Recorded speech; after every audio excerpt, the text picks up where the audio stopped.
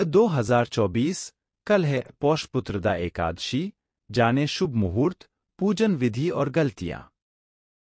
2024 एकादशी के दिन भगवान विष्णु की पूजा की जाती है।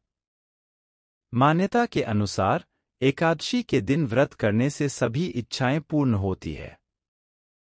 भारत के कुछ क्षेत्रों में पौष पुत्रदा एकादशी को वैकुंठ एकादशी स्वर्गावथिल एकादशी या मुक्तकोटि एकादशी भी कहा जाता है। अ 2024 व्रतों में सर्वाधिक महत्वपूर्ण व्रत एकादशी का होता है। ज्योतिषियों की माने तो एकादशी का नियमित व्रत रखने से मन की चंचलता खत्म हो जाती है, धन और आरोग्य की प्राप्ति होती है।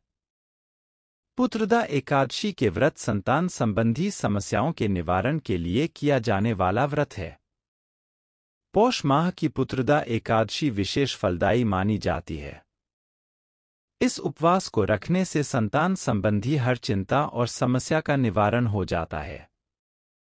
21 जनवरी यानी कल साल की दूसरी एकादशी पौष पुत्रदा एकादशी है। पौष पुत्रदा एकादशी शुभ मुहूर्त। हिंदू पंचांग के अनुसार इस बार पौष पुत्रदा एकादशी 21 जनवरी यानी कल मनाई जाएगी। एकादशी तिथि की शुरुआत 20 जनवरी यानी आज शाम सात बजकर छब्बीस मिनट से शुरू हो रही है और इसका समापन 21 जनवरी यानी कल शाम सात बजकर छब्बीस मिनट पर होगा। पौष पुत्रदा एकादशी के पारण का मुहूर्त 22 जनवरी को सुबह सात बजकर चौदह मिनट से लेकर नौ बजकर इक्कीस मिनट तक रहेगा। पौष पुत्रदा एकादशी शुभ योग। इस बार की पौष पुत्रदा एकादशी बेहद खास मानी जा रही है, क्योंकि इस दिन द्विपुष्कर योग, शुक्ल योग और रोहिणी नक्षत्र का संयोग बनने जा रहा है।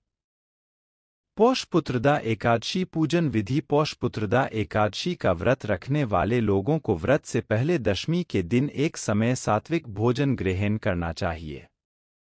व्रती को संयमित और ब्रह्मचर्य का पालन करना चाहिए। प्रातःकाल स्नान के बाद व्रत का संकल्प ले और भगवान विष्णु का ध्यान करें। इसके बाद गंगा जल, तुलसी दल, तिल, फूल पंचामृत से भगवान नारायण की पूजा करनी चाहिए। इस व्रत में व्रत रखने वाले बिना जल के रहना चाहिए। यदि व्रती चाहें तो संध्या काल में दीपदान के पश्चात फलाहार कर सकती हैं। व्रत के अगले दिन द्वादशी पर किसी जरूरतमंद व्यक्ति या ब्राह्मण को भोजन कराकर दान दक्षिणा देकर व्रत का पारण करना चाहिए। पौष पुत्रदा एकादशी महत्व पुत्रदा शब्द का अर्थ है पुत्रों का दाता और चूँकि यह एकादशी पौष के हिंदू महीने के दौरान आती है, इसे पौष पुत्रदा एकादशी के नाम से जाना जाता है। साल में दो पुत्रदा एकादशी आती है। पहली पुत्रदा एकादशी पौष मास में और दूसरी पुत्रदा एकादशी श्रावण मास में आती है। यह एकादशी मुख्य रूप से उन दंपतियों द्वारा मनाई जाती है जो पुत्र प्राप्ति की इच्छा रखते हैं। जो भक्त बड़ी श्रद्धा और समर्पण के साथ व्रत करते हैं, भगवान विष्णु भक्तों को सुख, समृद्धि और मनोकामना पूर्ति का आशीर्वाद देते हैं। दक्षिण भारत के कुछ क्षेत्रों में पौष पुत्रदा एकादशी को वैकुंठ एकादशी, स्वर्गावथिल एकादशी या मुक्तकोटि एकादशी के रूप में मनाया जाता है। पौष पुत्रदा एकादशी के दिन भूलकर न करें ये गलतियाँ। एकादशी के दिन तुलसी के पत्ते न तोड़े। तुलसी के पत्तों को एकादशी से एक दिन पहले तोड़ सकते हैं और इसे ताज़ा रखने के लिए रात भर पानी में रख सकते हैं। दो मांसाहारी भोजन, प्याज और लहसुन का सेवन न करें क्योंकि यह भोजन तामसिक खाने में आता है। तीन, इस दिन शराब और सिगरेट का सेवन न करें। चार, दूसरों के बारे में बुरा न बोलें। पाँच, एकादशी के दिन चावल का सेवन नहीं करना चाहिए क्योंकि चावल का सेवन करना अशुभ माना जाता है। पौष पुत्रदा एकादशी कथा। किसी समय भद्रावती नगर में राजा सुकेतु का राज्य था।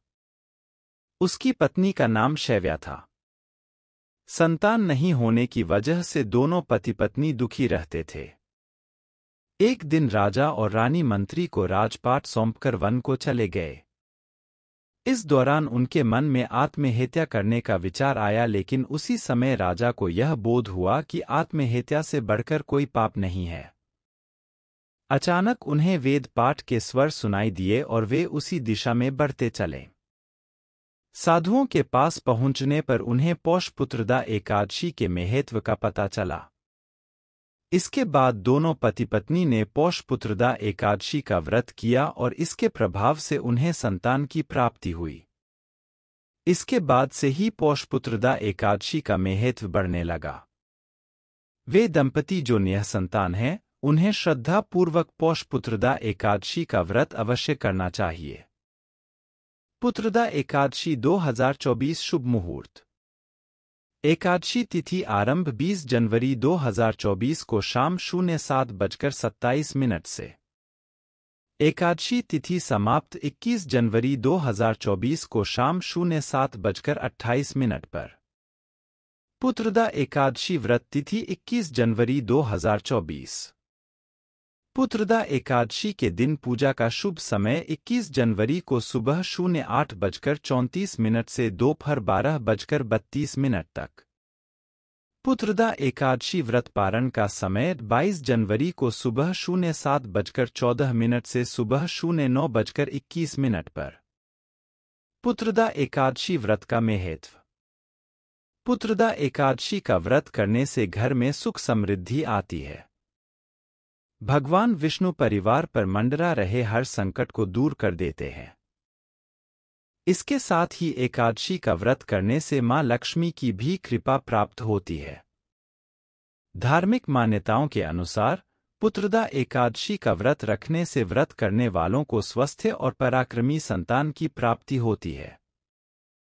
2024 पुत्रदा एकादशी के दिन भूलकर भी न करें ये गलतियाँ, वरना पूजा होगी असफल। सनातन धर्म में एकादशी तिथि का विशेष महत्व है। पौष माह के शुक्ल पक्ष की एकादशी तिथि को पुत्रदा एकादशी के नाम से जाना जाता है। इस खास अवसर पर जगत के पालनहार भगवान विष्णु की पूजा और व्रत करने का विधान है। इस बार पौष माह में 21 जनवरी पुत्रदा एकादशी है।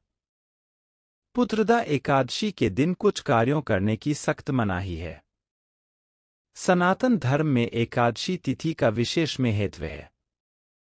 पौष माह के शुक्ल पक्ष की एकादशी तिथि को पुत्रदा एकादशी के नाम से जाना जाता है। इस खास अवसर पर जगत के पालनहार भगवान विष्णु की पूजा और व्रत करने का विधान है। इस बार पौष माह में 21 जनवरी पुत्रदा एकादशी है। मान्यता है कि पुत्रदा एकादशी के दिन कुछ कार्यों करने की सख्त मनाही है जिनको करने से साधक को जीवन में दुख और संकटों का सामना करना पड़ता है और भगवान विष्णु, माता लक्ष्मी रुष्ट हो जाती है। साथ ही पूजा का पूर्ण फल प्राप्त नहीं होता है। चलिए जानते हैं, पुत्रदा एकादशी के दिन किन कार्यों को करने से बचना चाहिए। पुत्रदा एकादशी के दिन न करें ये कार्य। पुत्रदा एकादशी के दिन किसी का अपमान नहीं करना चाहिए। इस दिन तामसिक भोजन का सेवन नहीं करना चाहिए, इसके अलावा व्रती को सुबह की पूजा करने के बाद दिन में सोना नहीं चाहिए। एकादशी के दिन तुलसी में जल न दें। क्योंकि तुलसी माता एकादशी का निर्जला व्रत रखती है। इसलिए एकादशी तिथि के दिन तुलसी में जल नहीं देना चाहिए। इसके अलावा पुत्रदा एकादशी के दिन बाल और नाखून नहीं काटने चाहिए। ऐसा करने से व्यक्ति को दोष लगता है। पुत्रदा एकादशी के दिन किसी पशु पक्षी को परेशान न करें। इस दिन किसी के प्रति बुरा न सोचें।